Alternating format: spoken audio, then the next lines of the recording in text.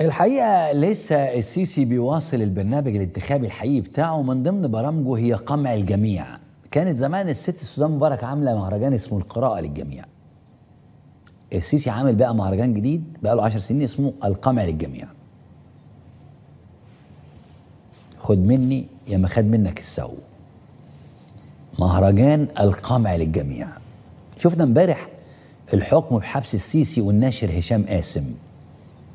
السياسي قصدي الراجل اتحبس هشام قاسم ست شهور. حبس هشام قاسم ست شهور بتهم بتهمة السب والقذف. حلو جدا. حلو. ما فيش مشاكل خالص. ما عندناش أي مشاكل خالص. هو شتم؟ okay شتم. وخد حكم ست شهور؟ آه خد حكم ست شهور. طب كويس. هشام قاسم آه.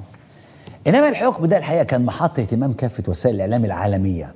خلينا نشوف الصحافة الأجنبية والعالمية اتناولت الخبر ده إزاي. الحكم على هشام قاسم ده رويترز رويترز ومنتقد الحكومة بالسجن لمدة ست شهور.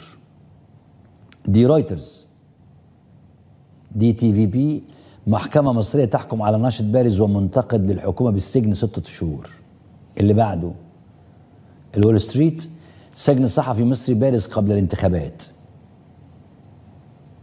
التايمز اوف اسرائيل مصر تسجن شخصية معارضة بارزة وتمنعه من المشاركة في الانتخابات المقبلة. اللي بعده الجارديان السجن ستة أشهر لأحد منتقدي الدولة المصرية. اللي بعده آه سويدي ولا سويسرا. السجن ستة أشهر لناشط مصري بارز ومنتقد الحكومة. حلو. آه شتم هشام قاسم آه عمل شتم كمال أبو عيطة. كويس جدا تمام جدا. بس أنت قلت. يعني اتحكم بحبس لأنه شتم. التهمة سب وقذف صح؟ سب وقذف. النهارده دي بقى بتفكرك بحد كانت برضو عنده تهمة عقوبة ست شهور وكانت حضوري. تهمة سب وقذف برضه وست شهور سجن برضه وحضوري. بس التاني بقى خرج من المحكمة عادي جدا على البيت وعلى المصيف. مش زي هشام قاسم كده اللي خرج على من المحكمة على السجن. أنت عرفت التاني مين؟ مرتضى منصور. هما الاتنين. تهمتهم سب وقذف هما الاتنين أخدوا عقوبة ست شهور سجن. وحضوري. هشام طلع على السجن ومرتضى منصور طلع على المصيف. وده اللي أنا قلته. ده اللي أنا قلته قبل كده في حلقة سابقة بتاريخ 23 أغسطس. العب. يتمسك هشام قاسم. طب يا عم هشام الراجل قال لهم أنا ما قلتش حاجة غلط. الراجل ده كان خد فلوس وردها أنا قلت إيه غلط؟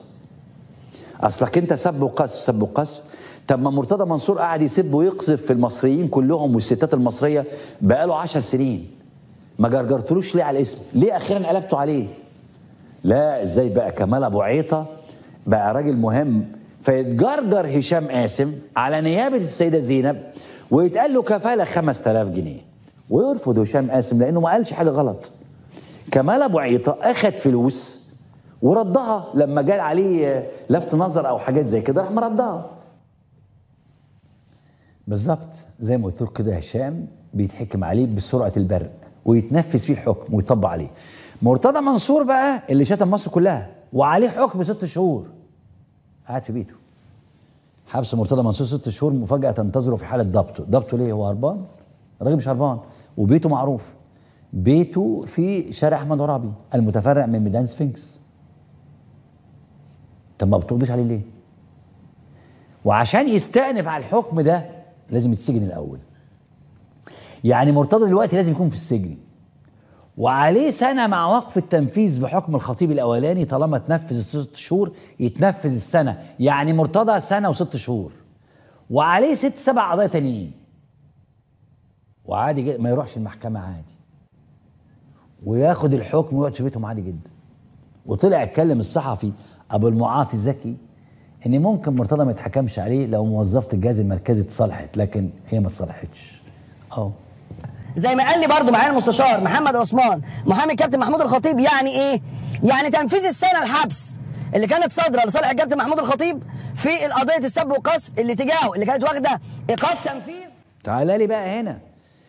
كان واخد قضية سنة حكم سنة في سب الخطيب سنة مع وقف التنفيذ قالك عشان سنه. القانون بيقول طالما خد حكم تاني وهيتنفذ نرجع بقى نطبق عليه السنة اللي وقفت دي. فيبقى عنده سنة وست شهور.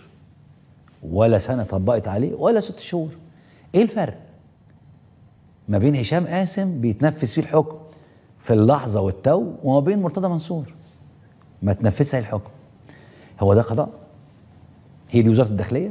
هي دي دولة المؤسسات؟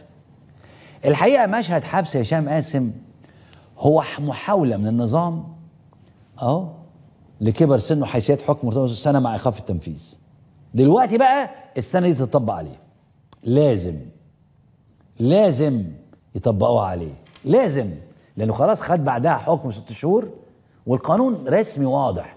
القانون واضح يا حضرات لكن وزارة الداخلية مش واضحة. القانون واضح لكن القضاء مش واضح. محدش يقدر لأن ده محمي من ولاد السيسي مرتضى منصور زي زي إبراهيم العرجاني كده. حد يعرف المتهم رقم ستة في الطيارة؟ ما حدش.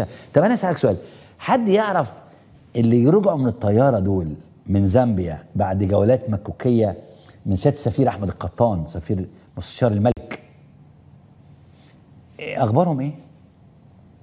يعني اتعرضوا لمحاكمة اتعمل معاهم تحقيق الذهب ده كان بتاع مين؟ طب الدولارات دي كانت بتاعت مين؟ طب كنتوا بتعملوا إيه؟ حد عارف حاجة؟ عندك واحد بنته هجمت السيسي في مؤتمر جه هو مصر من المطار اتاخد على السجن.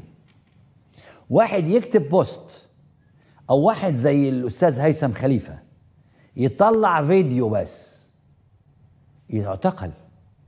لكن ناس طلعت بطيارة من مطار القاهرة عليها دولارات وذهب وسلاح وراحوا طايرين نزلوا زامبيا اتمسكوا واتفضحوا.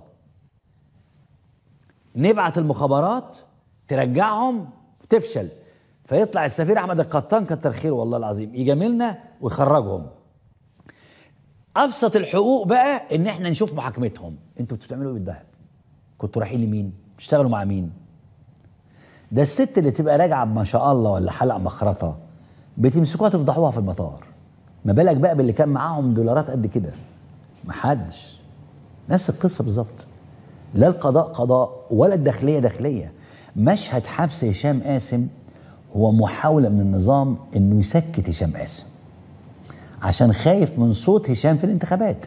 وده اللي قاله الدكتور عمار علي حسن. بيقول أهو الدكتور عمار بيقول إنه ست شهور حبس لهشام قاسم تحرمه من التعليق على الانتخابات الرئاسية. وفق طريقته الجريئة التي تخطى فيها العلامات الحمراء.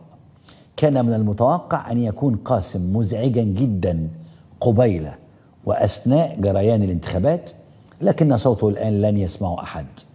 مقاربة قاصرة من السلطة لأن ملايين المواطنين تعدوا حاليا الخط الأحمر. لكن في حاجة تانية كشفها التيار الحر إن هشام قاسم نفسه كان مرشح رئاسي محتمل للتيار. البيان أهو. التيار الحر بيان قرر مجلس الامه تعليق جميع مشاركاته السياسية مؤقتا. عطفا على الحكم الصادر ضد الأستاذ هشام قاسم رئيس مجلس أمنائه. ويؤكد عدم الدفع بمرشح في الانتخابات الرئاسيه القادمة هذا وقد وجب التنبيه أن الأستاذ هشام قاسم كان مرشحا رئاسيا محتملا. إذا توفرت الضمانات الانتخابية. النظام مستمر وده يخليني أسأل سؤال أنا بسأل ما عنديش معلومة والله. هشام قاسم كان مرشح محتمل للتيار الحر. فيتقبض على هشام قاسم. كلام جميل. أحمد الطنطاوي مرشح رئاسي وأعلن. فما يتقبضش على أحمد الطنطاوي ويتقبض على بتوع الحملة. ليه؟ انت عايز تقنعني ان هشام قاسم اتقل من احمد الطنطاوي؟ هما الاثنين تقال على السيسي. الاثنين اتقل من السيسي بكتير. بس قصدي أقول يعني انت رحت قبضت على هشام اللي كان بيفكر التيار الحر انه يرشحه. بينما احمد طنطاوي انت سايبه. آه صح تتجسس على تليفونه. بتقبض على اللي بيشتغلوا معاه في الحملة. مانع أي مكتب دعاية يعمل له إعلانات ودعاية. طب وهو؟ أنا مش قصدي يتقبض عليه ربنا يسلمه يعني. بس يعني إيه الفكرة؟ إنما المهرجان فاتح آه السيسي قصدي فاتح مهرجان كبير اسمه القمع للجميع. وعمال يوسع دايرة الصدام تحت شعار يا نحكمكم يا نقتلكم آخرها زي ما قلت لكم هنا اعتقال شاب مصري باحث باحث عقلية يعني اسمه هيثم خليفة. بعد الفيديو اللي أنا كنت عرضت لكم أفكركم بالفيديو ده. مشهد إحنا هنجيب السيسي كده ده عم- في مشكلة كبيرة. هنجيبه من انتخابات إحنا عايزين الناس تكون راضية. راضية إنها نزلت قالت لا بس إحنا لما نرفع الأصوات تقول آه ونعدي وحاسس ان هم اختاروا ونحاول إيه نلم الدور. ده ده المحاولة اللي هي هتفشل. بالم- بالمناسبة هتفشل مش انه يجي هتفشل إنها تمنع احتقان الشعب المصري. لأن السيسي معروف لكل إن هو غير مقبول إنه يبقى موجود. فبالتالي آه، آه، لازم تبقى فاهم ده. عشان كده مثلا كان حد كتب لي على الخاص قبل ما أطلع على طول في اللايف قال لي أنت شايف الهجمة الإعلامية اللي معمولة على أحمد طنطاوي هل ممكن تكون الدولة بتحفز بيها الناس إنها تنزل؟ آه ما باينه قوي يعني. يعني هم الليلة اللي هم عمالين يعملوها دي آه إن هو خطر وإن هو مش عارف إيه وإن هو إيه. الهدف هنا آه، أنا عايز أنا عايز عايز أصور زحمة على الصناديق الصناديق دي لو شيل أحمد طنطاوي وفريد زهران قول لي مين هينزل؟ هينزل إيه أصلا؟ فاهمني؟ فبالتالي أنا دلوقتي عايز عنصر السؤال يبقى عندي. هشام قاسم كان احتمال يترشح مع التيار الحر للرئاسة. أنت قبضت عليه. بأي تهمة؟ بكلام فارغ يعني. وسايب مرتضى منصور بره بنفس التهمة ونفس الحكم. وأحمد طنطاوي الراجل اترشح أو أعلن ترشحه. سايبه وبتقبض على اللي حواليه. إيه الفكرة؟